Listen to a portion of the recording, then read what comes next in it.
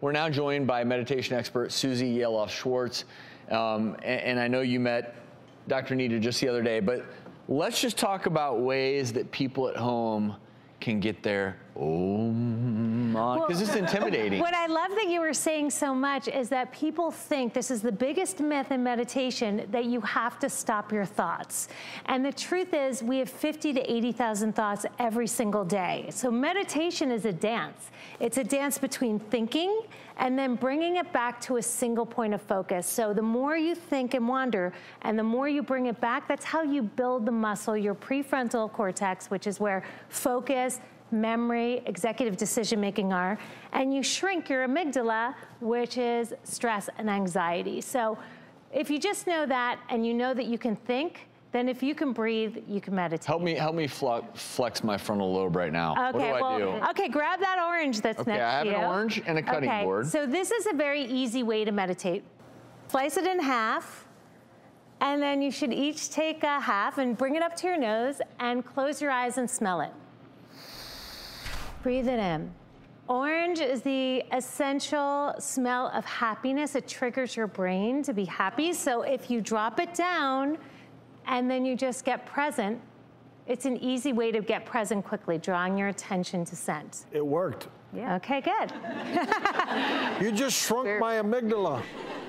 So the second thing is the meditation in a jar, and I love this because the jar represents your brain, and the glitter represents your thoughts and your feelings.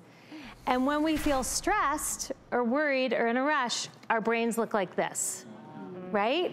But when we stop and we breathe, let's all just close our eyes and take a deep breath in and let it out with an audible exhale. Ah. Look what happens. Everything settles and becomes clear, and the glitter, which represented your thoughts and feelings, are just at the bottom, and it's still there. And that's what happens to your brain on meditation.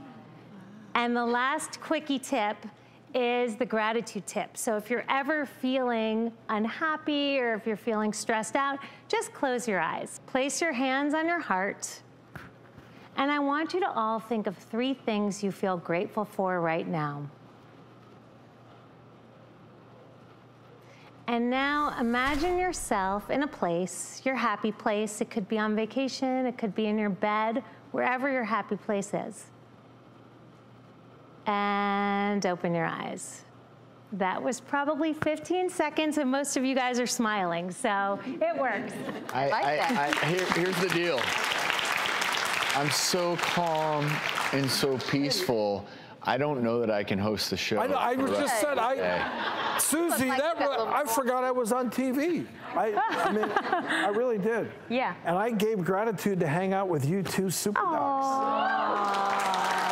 So sweet. Suze, thanks so much. Thank you. And uh, Dr. Nita, thanks for trying that out. Oh, yes, it was my pleasure.